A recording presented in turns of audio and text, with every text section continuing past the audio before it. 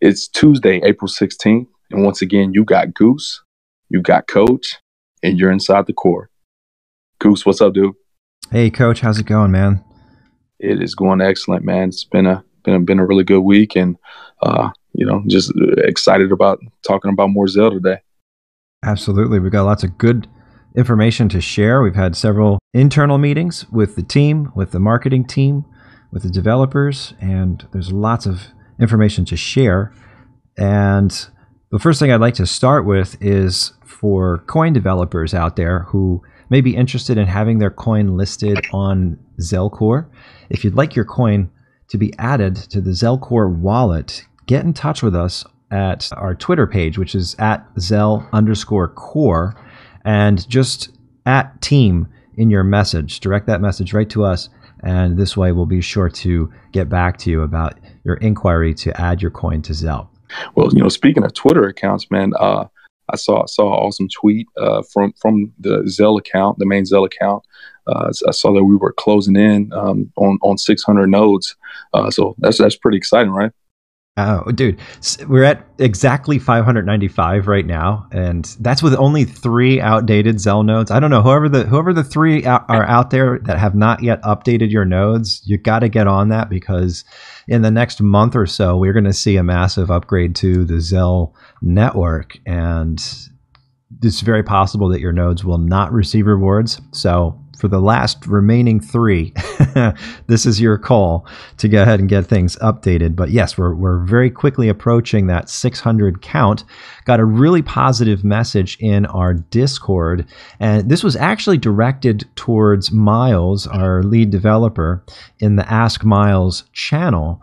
And it was from somebody who was pretty much praising the fact that we have made it so easy to get nodes up and running thanks to the videos, thanks to the scripting and the information that's available via Parker and the wiki pages and what have you. So a special shout out to everyone who has contributed, especially our community members, to getting other people up and running and taking advantage of running a node on really one of the fastest growing secure computational networks that are, are really going to change the way we use crypto as we move forward. We're going to have we're going to see more features being added to the nodes and the role that they'll play in powering dApps for our Zel developer platform.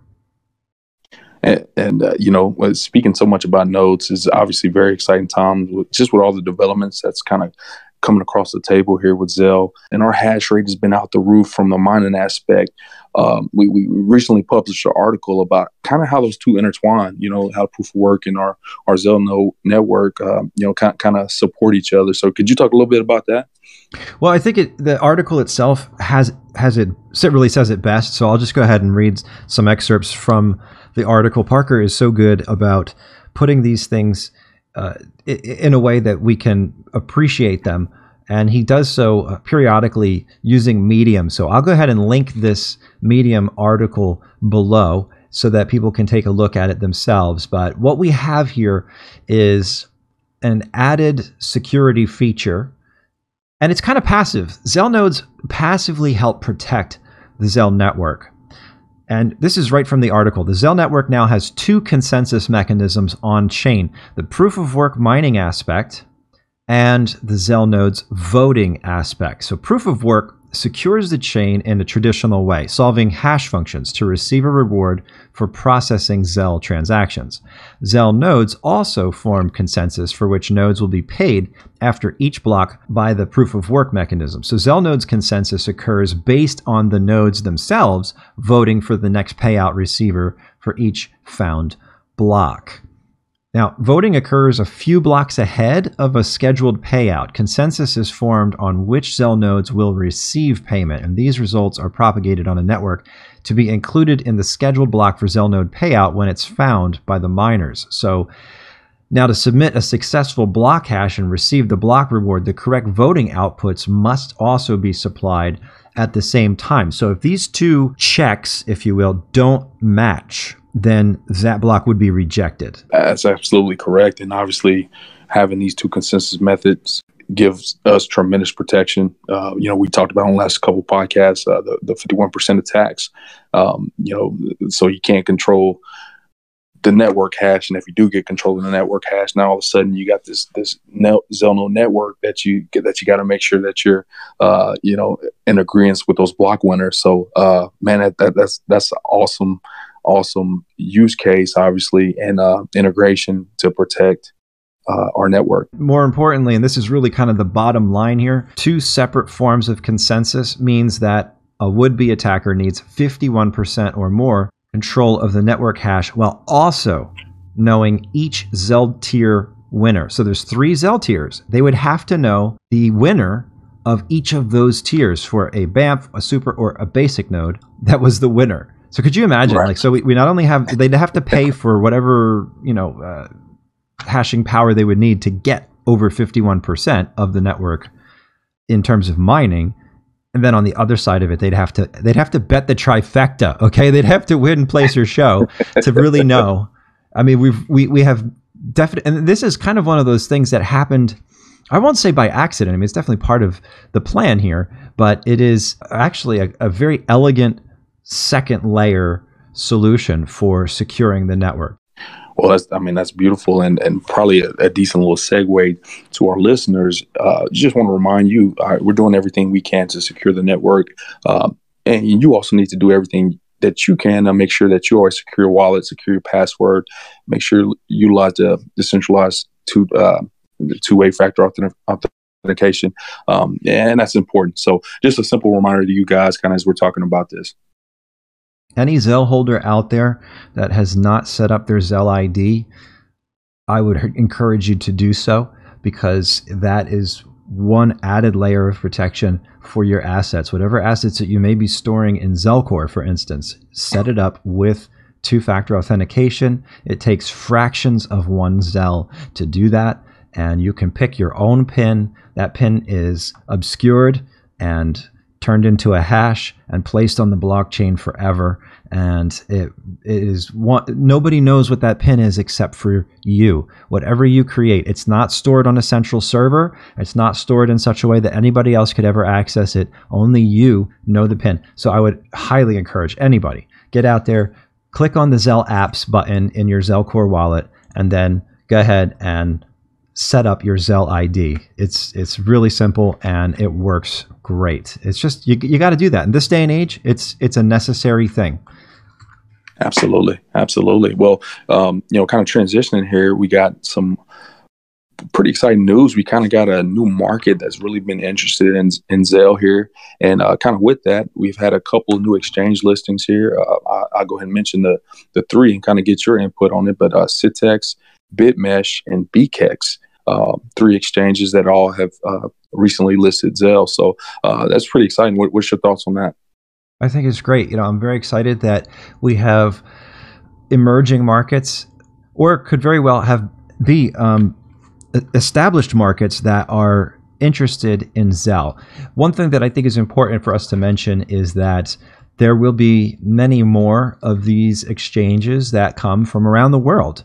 And I think it's a beautiful thing that everybody is interested in this project and what we have to offer and where we are headed with all of the future development on the platform. And all of this is getting attention because they are seeing active development, they are seeing results on behalf of our development team, and they're seeing functionality that many other wallets do not have. I mean, there's really nobody else out. Well, there's a few out there, but they're, they're not they're not incorporating the assets that we're incorporating as quickly as we're incorporating them. I remember when the Exodus wallet first came out, and I thought, oh, this is great. You know, it's a nice wallet. It's standalone. You can go ahead and put most of your assets in there. But then I came across a coin that it didn't have, and I said, oh, well, that's too bad. I really wish I could store all my crypto in one place, but I, I couldn't do it with Exodus. So I had to go find another wallet. And before long, I had like another wallet, another wallet, another wallet. I had 12 wallets, and they're all unique and they're all a pain to, man- to manage and maintain because some of them were full node wallets. So you have to download the whole blockchain, and it was just a mess to try and keep everything up to date.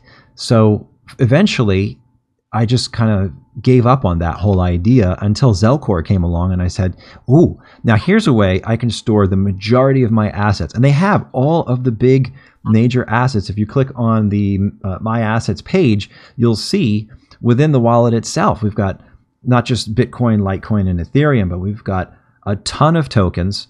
There are a ton of other Bitcoin based coins within the wallet itself, including Zcoin and SnowGem. We've got Ravencoin, it's also another uh, Bitcoin fork. Monero, if you want to go private, although I would highly recommend the Zel privacy just because ZK Snarks is probably one of the best forms of privacy out there. Then again, you know, there's plenty of other assets out there. And what one of our latest is the Binance chain. So we'll be using that for the Binance DEX, which is incorporated right into Zel. And that's something that, like I said, I don't think there's many other wallets out there that are offering that level of functionality. So the other exchanges that have picked us up, Bitmesh, BKEX, and Citex, they, I think, are seeing something in Zel that uh, is of great interest. And it's really nice to, to be introduced to these new markets. So we are very excited about that and we welcome them because the it just gives us an opportunity to grow the Zel family. Right, and uh, you know, as as with anything in crypto, it's important that you know you do your own research in regards to utilizing these these exchanges. You know, these exchanges actually reached out to us um, and, and wanted to list us. So, uh, you know, there there's there's got to be a little bit of of uh, you know taking care of yourself and, and, and like I said, just doing your due diligence and doing your own research in regards to how to utilize those exchanges and, and make sure that you're protected within those exchanges um, as they are new to you. Um, there, there's probably a market that has utilized these before and feel comfortable with them. Um, I, I never have personally, uh, but as as I move forward, if I ever decide to utilize it, I'm definitely going to make sure I totally understand it before I send my funds there. That's a very good point. Yes, we as the Zel team cannot be responsible for all of the other exchanges that decide to list us. And a lot of this, they may reach out to us and say, "We're going to list you," and and a lot of times the developers have very little that we can say about that. It's open source kind of stuff, you know, it's blockchain. People can list on whatever exchange they want. We don't have the resources to go vet every single little exchange that may be out there. So we're going to definitely encourage people to go ahead, do your own research, make sure that you know where you're sending your crypto.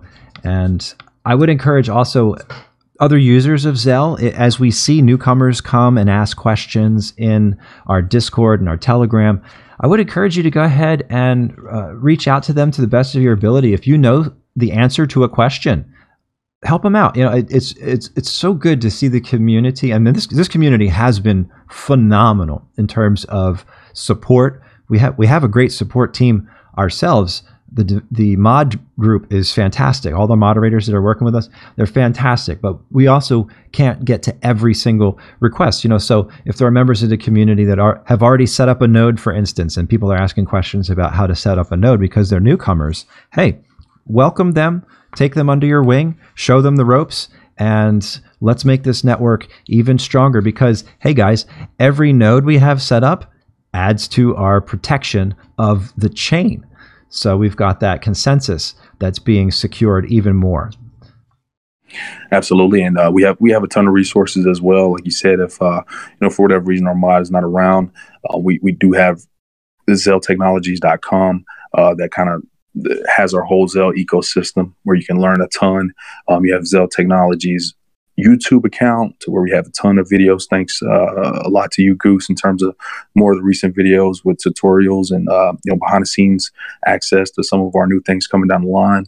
Uh, our social media accounts, uh, you know, we got three or four eyes, uh, pairs of eyes, excuse me, that are that are that are there to help support via via Twitter and uh, Reddit and um, Discord. So there's a lot of resources out there. So if you find yourself new to the Zel ecosystem, you know, feel free to kind of dive right on in. Please do. Please join us. We would love to have you as part of that community effort to bring people on board with this wonderful project. I am so stoked that this project is making such great moves and coming together. It's really start, starting to take shape when you start to see the DEX in action, of which we definitely have a video on. You can check that out. The, the Binance DEX running in a beta version, and it's working great. So I'm very excited about that. One last thing I, I did want to mention, and th- this is like certainly uh, last but not least, but the team is growing, and we're very excited to welcome Jeff and Tarball QC from the Pickaxe Mining Pool. Those guys are the ones responsible for the the setup and the maintain the maintaining of our community pool, and they have been added to the team. Jeffka comes from a background in IT and management, and he's going to be joining the Zel development team as one of the developers. And then Tarball is going to be joining us as uh, an infrastructure member and community moderator. He's got a lot of really good experience with moderating, especially on Discord. Uh, he's an excellent coder when it comes to setting up bots and things like that. So he's going to be a great asset to help us automate things. Uh, we are in the process of automating our support system. We want to make a support ticket system so that we're trying to uh, make sure we, are able to keep track of who is requesting support as well as what we have said in response so that eventually we'll get a nice FAQ built out of that so people can search it, people can look at it, uh, or, if, or, at the very least, we will be able to search it and look at it uh, just to see if there are common problems that continue to come up, and then we'll be able to address them a little more efficiently on the back end in terms of updates. Well, that's very exciting. I, have kept up with those guys from uh, from the pickaxe, uh, my my mining from back in the day with those guys. So uh, very exciting having them on the team. Uh, tremendous assets, and we'll continue to help push this project to new heights. Um, but it looks like a perfect time for us to kind of shut this episode down. We have a ton of new things coming down the pipeline. So I look forward to catching up with you next week, Goose, and, and talking more about Zel. Same. Yeah, I can't wait. It's all happening and it's all happening very, very quickly. So until next time. Until next time. Um, and before we close out, just always a reminder if you're if you're new to the community, discord.io backslash Zel will give you access pretty much to the team, our community. I'll spend a lot of time there in Discord, um, as well as you can follow us on social media. Our Twitter account, our main Zel Twitter account is at Zelcash, and then our Zel Core Twitter account is at Zel underscore Core. And uh, feel free to interact with us, to engage with us, ask questions, and we'll be sure to help you out. But until next time, you've been inside the core powered by Zel. See you guys next week.